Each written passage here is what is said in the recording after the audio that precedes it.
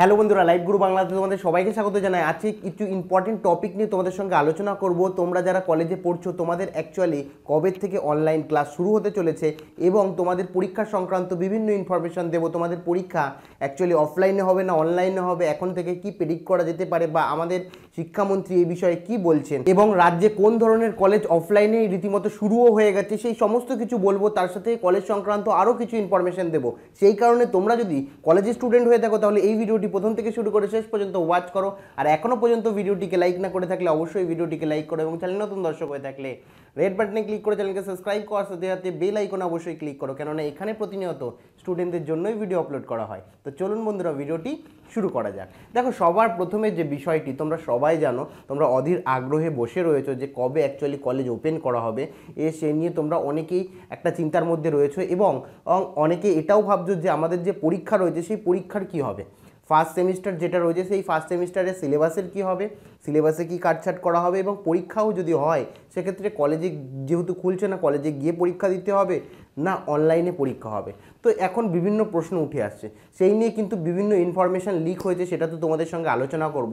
তার আগে বলে রাখি, এই তোমরা যারা কলেজের স্টুডেন্ট রয়েছে, তোমাদের মধ্যে যারা মেডিকেলের স্টুডেন্ট রয়েছে তাদের কিন্তু অ্যাকচুয়ালি কলেজ শুরু হয়ে গেছে। কলকাতা মেডিকেল কলেজের স্টুডেন্ট যারা রয়েছে, তাদের কলেজ রীতিমতো শুরু হয়ে গেছে। এবং অন্যান্য মেডিকেল কলেজের যারা স্টুডেন্ট রয়েছে, তোমাদেরও অ্যাকচুয়ালি কলেজ শুরু হয়ে যাবে। এরপরে কথা হচ্ছে অন্যান্য যে সমস্ত কলেজগুলো রয়েছে, সেই সমস্ত কলেজের ক্ষেত্রে। এ তো এখানে বলে রাখি, অন্যান্য কলেজের ক্ষেত্রে আমি বলেছিলাম তোমাদের অনলাইনে অ্যাকচুয়ালি ক্লাস শুরু হয়ে যাবে। সেরকমই কিন্তু অনলাইনে কিছু কিছু কলেজ ক্লাস শুরু করে দিয়েছে। কিছু কলেজ এখনও শুরু করেনি। যেরকম আমি যদি বর্ধমান ইউনিভার্সিটির কথা বলি, বর্ধমান ইউনিভার্সিটি কিন্তু ও ষোলোই ডিসেম্বর থেকে তোমাদের অনলাইনে ক্লাস শুরু করবে। যারা বর্ধমান ইউনিভার্সিটির স্টুডেন্ট রয়েছে, তারা অবশ্যই কলেজে খোঁজ নাও। তোমাদেরও কিন্তু অনলাইনে ক্লাস ষোলোই ডিসেম্বর থেকে অ্যাকচুয়ালি চালু হয়ে যাবে এবং ক্যালকাটা ইউনিভার্সিটির যারা রয়েছে, তাদেরও কিন্তু পনেরো কিংবা ষোলো ডিসেম্বরের মধ্যে ক্লাস কিন্তু চালু হয়ে যাবে। এই কারণে তোমরা তোমাদের কলেজের অফিসিয়াল ওয়েবসাইট চেক করো, সেখান থেকে ইনফরমেশন পাবে, অথবা তোমাদের কলেজের কোনো গ্রুপ থাকলে, এ ফেসবুক পেজ থাকলে, সেগুলোকে তোমরা ফলো করো, তোমরা জানতে পারবে। অ্যাকচুয়ালি তোমাদের কলেজ ইউনিভার্সিটির আন্ডারে তো অনেক কলেজ হয়। তোমাদের কলেজ অ্যাকচুয়ালি কবে থেকে ওপেন হবে? এ মোটামুটি পনেরো তারিখের পর থেকে ম্যাক্সিমাম কলেজ কিন্তু ওপেন হয়ে যাবে মানে পনেরো ডিসেম্বরের পর থেকে। এরপরে যে বিষয়টা, তোমরা অনেকেই ভাবছ যে আমাদের সিলেবাসে কী কাটছাট হবে। এ সেক্ষেত্রে কিন্তু তোমাদের সিলেবাস এবং পরীক্ষা সংক্রান্ত বিষয় জিজ্ঞাসা করা হয় আমাদের শিক্ষামন্ত্রী পার্থ চট্টোপাধ্যায়কে। সেখানে কিন্তু তিনি একটা ইঙ্গিত দিয়েছেন যে সিলেবাসে যেহেতু এবারে এ কলেজের স্টুডেন্টদেরও অনলাইনে ক্লাস করতে হচ্ছে, এ অফলাইনে এই প্যান্ডেমিক সিচুয়েশনে খোলা সম্ভব না। যেহেতু ফিজিক্যাল ক্লাসেস হচ্ছে না মানে তোমরা গিয়ে অফলাইনে ক্লাস করতে পারছ না কলেজে সেক্ষেত্রে তোমাদের সিলেবাসে কাটছাড় করার কথা বলা হয়েছে যে, খুব তাড়াতাড়ি তোমাদের জানানো হবে যদি কাটছাট করা হয়, কিন্তু এরকম একটা পরিকল্পনা চলছে যে প্রথম বর্ষের যে স্টুডেন্টরা রয়েছে বা দ্বিতীয় বর্ষের যে স্টুডেন্টরা রয়েছে, যারা অনলাইনে ক্লাস করছে, এ অনেকেরই অনলাইনে ক্লাস করতে কলেজের পরিবারদেরও অসুবিধা হচ্ছে। সেই কারণে এ তোমাদের সিলেবাসেও কিন্তু কাটছাট করার আর পরিকল্পনা করা হচ্ছে।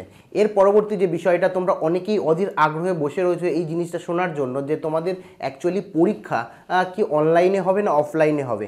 প্রথম বর্ষের স্টুডেন্টদের কথা বলছি যারা ফার্স্ট সেমিস্টার দেবে।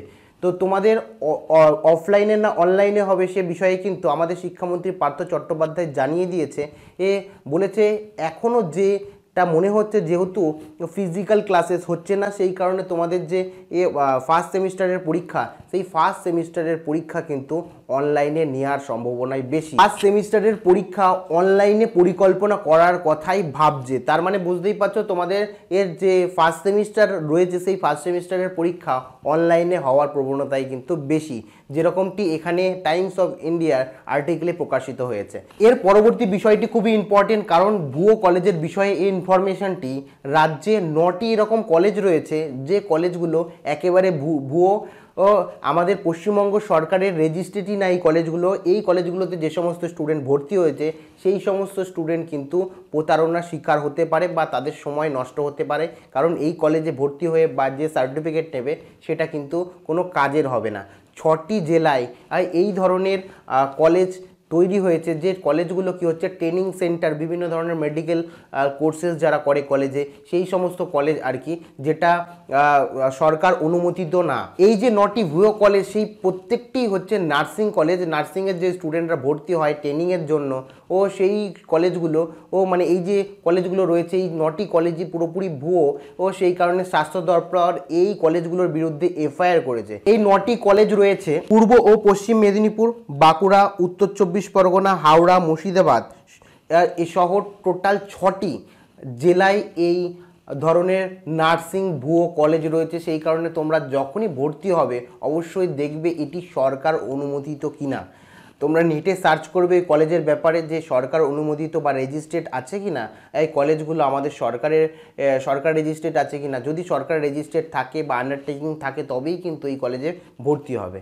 সেই কারণে খুবই যখন তোমরা নার্সিং কলেজে বা অন্য কোনো ট্রেনিং সেন্টারে ভর্তি হচ্ছ, ট্রেনিং সেন্টারের কলেজে, সেক্ষেত্রে অবশ্যই মাথায় রাখবে যে সরকার রেজিস্ট্রেড কলেজ কিন্তু, কিনা সেটা কিন্তু দেখে নেবে। না হলে কিন্তু পরবর্তী সময়ে তোমাদের কিন্তু অনেক সমস্যার মুখে পড়তে হবে। দেখা গেল দু বছর কিংবা তিন বছর তোমরা পড়ে ফেললে, তারপরে দেখা গেল তোমার যখন সার্টিফিকেট আসলো, সেটা কোনো কাজেরই না, কোনো ভ্যালু নেই, সেক্ষেত্রে কিন্তু তোমরা অনেকেই সমস্যায় পড়বে। সেই কারণে যখন কোনো ও নন পপুলার কলেজে বিশেষ করে নার্সিং কলেজ হলে, সেগুলোকে, সেগুলো দেখবে যে সরকার অনুমোদিত কলেজ কিনা। তো এগুলোই তোমাদের জানানো ছিল। বেশিরভাগ স্টুডেন্টের যে জিজ্ঞাসাবাদ ছিল যে পরীক্ষা আমাদের অনলাইনে হবে ফার্স্ট সেমিস্টার না অফলাইনে হবে, এই মুহূর্তে যা ইনফরমেশন আমাদের শিক্ষামন্ত্রী যা জানিয়ে দিয়েছে, সেই অনুযায়ী তোমাদের ফার্স্ট সেমিস্টার কিন্তু অনলাইনেই হবে। এই বিষয়ে তোমাদের কি মতামত অবশ্যই কমেন্ট সেকশনে আমাকে জানাও। তো আজকের মতো এইটুকুই। আবার দেখা হচ্ছে অন্য কোনো ভিডিওতে টেক কেয়ার বাই